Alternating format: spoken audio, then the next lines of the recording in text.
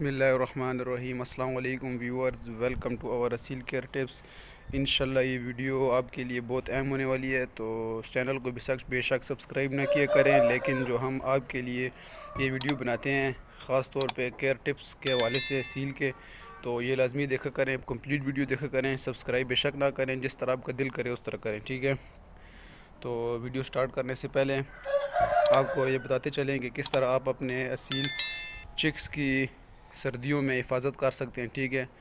तो इन आज हम आपको कंप्लीट प्रोसेस बताएँगे उस हवाले से। तो सबसे पहले आपने क्या करना है? सबसे पहले आपने जो रात का पानी पड़ा हुआ था, ये अभी जो पानी पड़ा हुआ है, ये वाला, ये रात का पानी है, ठीक है? इस रात के ठंडे पानी को आपने डोल देना है। ये डोल गए ठीक है?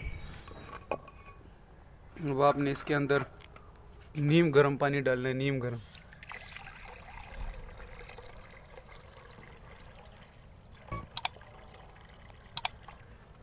ये नीम गर्म पानी डाल दी ठीक है?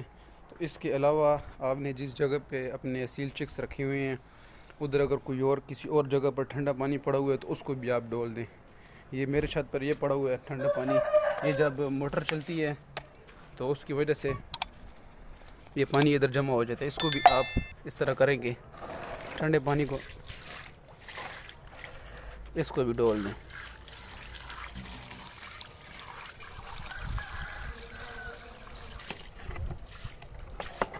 इसको भी हमने ढोल दी, ठीक है? तो अब आते हैं हम कि रात को हमने किस जगह पर बंद करना है, ठीक है? ये आप देख सकते हैं, ये इस पिंजरे के अंदर चूज़े बंद हैं, ठीक है? ये बाहर भी मैंने कपड़ा डाला हुआ है, इस कपड़े को हटाते हैं, ऊपर करते हैं, ये पिंजरा, ठीक है? इसको इंशाल्लाह इस वीडियो के अंदर आपको कंप्लीट प्रोसेस मिलेगा तो वीडियो पूरी देखना लाजमी, ठीक है? इन आपको फ़ायदा होगा।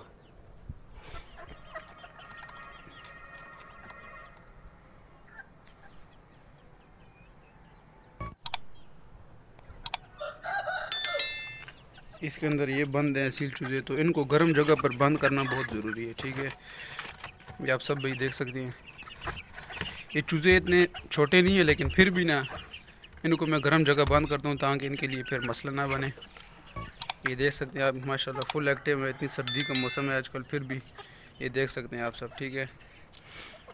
तो इनकी रात को बंद करना है आपने, गर्म जगह पर, ठीक है? दूसरा, आपने इनको जो पानी रखना है, जो मैंने आपको बताया पहले, पानी भी आपने ऐसा रखना है, बिल्कुल गर्म पानी, नीम गर्म हो, ज़्यादा गर्म ना हो, ठीक है? ये हो गया इनके रात को बंद करने का और पानी का। इसके अलावा अब इनकी खुराक क्या करनी है, खुराक? खुराक आपने ऐसी रखनी है, मैं तो ये इनको, ये देता हूँ आटा, आटे के अंदर हल्दी मिला के, ठीक है, हल्दी मिला के देता हूँ, जिसकी वजह से हल्दी गर्म होती है, आप सब भाइयों को पता है। तो जिसकी वजह से ये गर्म रहते हैं, सर्दियों का मौसम है, जिसकी वजह से ये गर्म रहते हैं चूज़े सारे, ठीक है। तो हल्दियाँ भी इनको देंगे।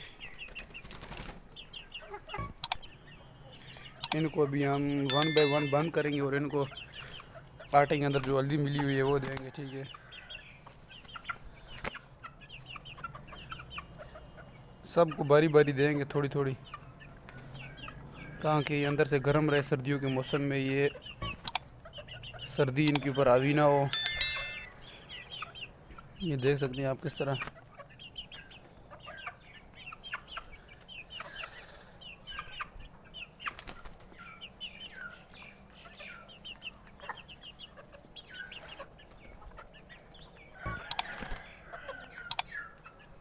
ये तो सारा यही खा गए, नीचे वाले को खाने नहीं दे रहे।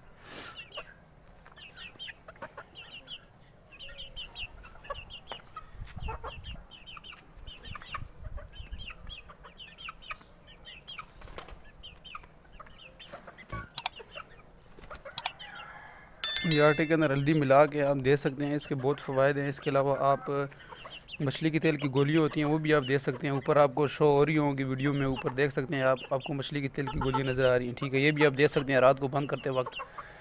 ये भी बहुत गर्म होती हैं, लेकिन मछली के तेल की गोलियों से ज़्यादा जो हमने चेक की है, वो हल्दी सही होती है। आटे के अंदर थोड़ी मिक्स कर दें, एक चुटकी पेड़ा बना लें, उसके अंदर दे दें आप। इन सबको मैं भी हल्दी दूँगा इन तो इसके अलावा आप खुराक होगी, सुबह आपने इनको थोड़ी गर्म खुराक देनी है, ठीक है, सुबह खोलते वक्त। और शाम को शाम को भी ऐसी खुराक देनी है जिसकी तसीर ठंडी हो, ठीक है तसीर गर्म ना हो।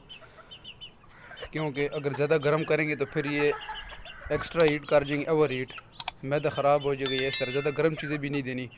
इतनी गर्म देनी है जिससे अंदर से ये थोड़े थोड़े गर्म रहें, ठीक है।